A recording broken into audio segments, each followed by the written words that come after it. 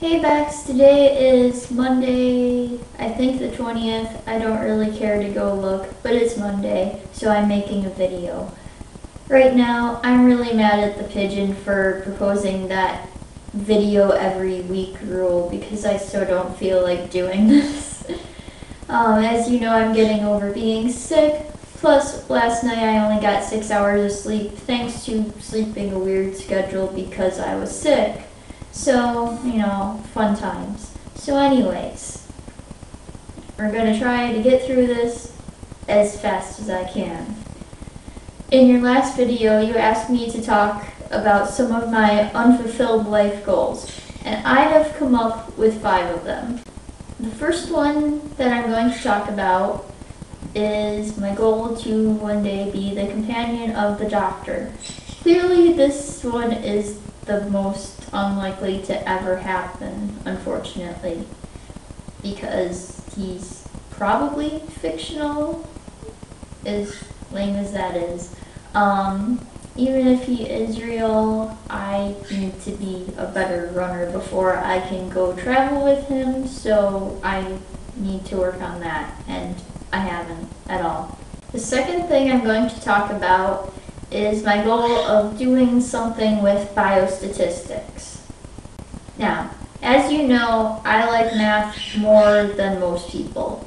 So, taking class where the math was combined with the science was really cool to me. It's like, oh, cool, here's an application for this other thing I love, sticking it into this category that I'm actually majoring in. This is perfect. Um, and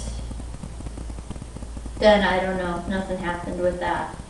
I actually looked into it a little bit for graduate school, but most, if not all of the programs were actually for like medical applications of biostatistics, and I would be more for the zoology angle. The third thing I'm going to talk about is my goal of being a writer. I do really like to write I haven't done it in ages, but throughout like high school and I think part of college at least, I have a lot of really bad fanfics showing that I really did like to write a lot. I haven't written much lately, although in 2008 and 2009 I did attempt the National Novel Writing Month thing, although neither of those was really successful.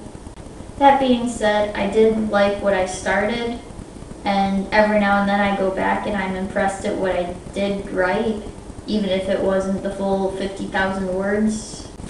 Fourth thing I'm going to talk about is my goal to be costume designer type person. Um, there was a very brief time, I think it lasted um, a few weeks, where I was actually in the fashion design major. I got out of it because I was like, wow, I I don't want to be in this industry. I just want one particular job in this industry. But getting that is probably not going to happen. What I thought would be really cool be like the person who like designs the costumes and stuff for like musicals or things like that. The last one I'm going to talk about is my goal of becoming a herpetologist.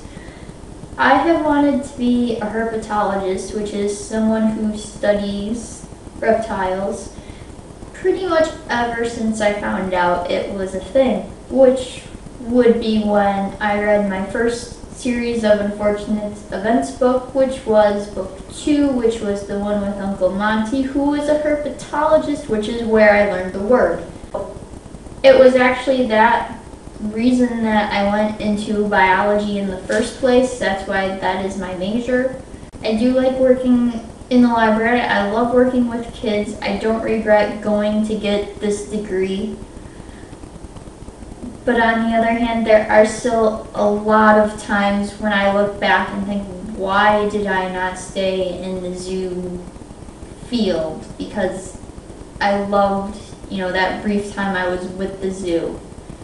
So, there you go. Anyways, that's all I have to say. Bex, I'll see you on Wednesday. Oh my gosh, 24 minutes. I hope I can narrow it down to five.